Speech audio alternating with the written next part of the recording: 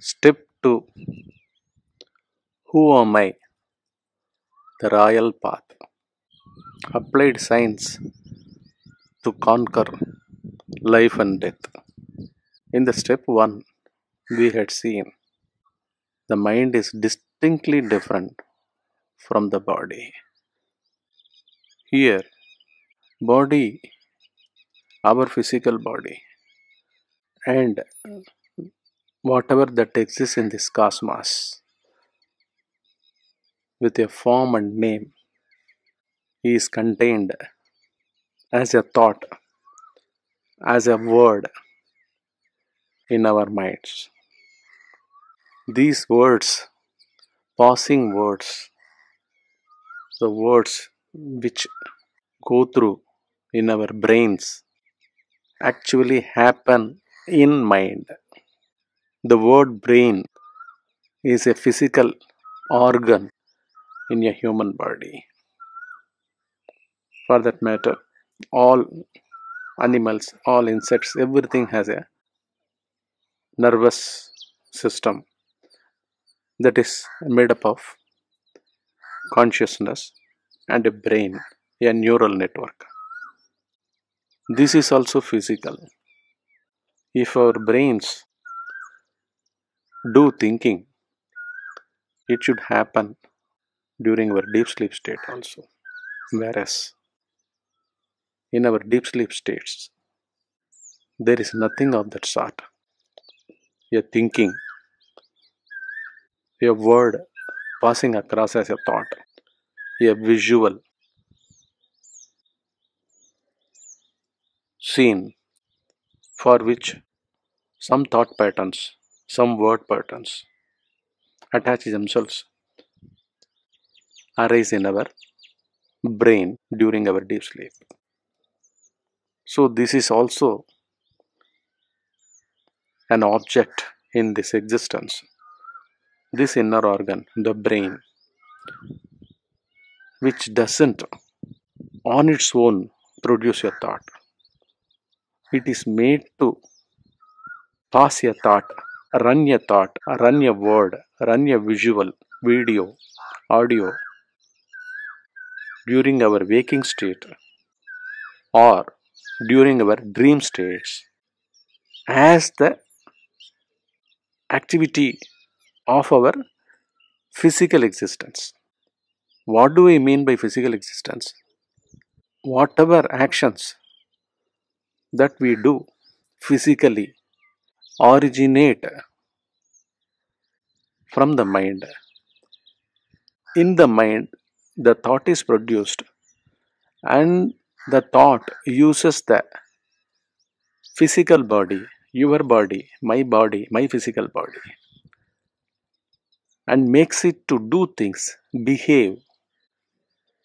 The master of this complete physical cosmos and our physical body is the mind. In your mind only, you enact, you create in a trillionth of a nanosecond. Your physical body, attach your thought, the thought which you have thought is getting attached with your physical body as the thinker. Even that physical body, the attachment of the physical body is done by the thought. Thought creates the physical body. Thought attaches itself with the physical body. Thought does so many activities through the physical body and pass on all thought formations to the physical body and make the physical body as the thinker. It constantly eludes investigation. The thoughts elude investigation because again, who is the investigator? A thinker identified, a thought identified itself with the physical body is going to be the investigator and investigate about the thought itself. But instead of calling it as an investigation of thought, it enjoys the confusion that is prevalent basically in a human being. Which is enjoying the confusion? The mind. The minds, as if we are separate thinkers that exist in us, makes us as the thinkers, and that con- confusion is carried over again and again and again through each and every passing thought while we live in these two states of waking and dreaming.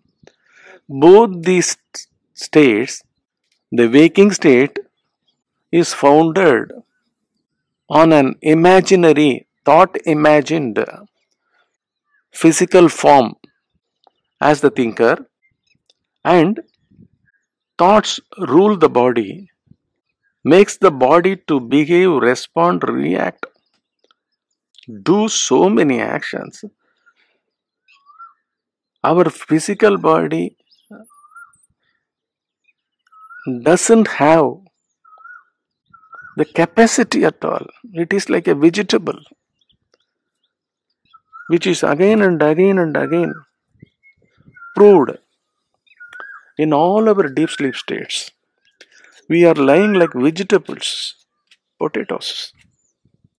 Essentially, this dichotomy of thought using the body, physical body, as the thinker, doer, actor of so many of its influ- influences and it retracts, the mind retracts from the body during our deep sleep state. What is a deep sleep state? Deep sleep state is the retraction of all thoughts called as a mind which has gone into some darkness, oblivion. During deep sleep, when one gets a bathroom feeling, also that feeling has to originate from the mind, feeling the filling up of the bladder in one, and that feel has to be translated into a thought.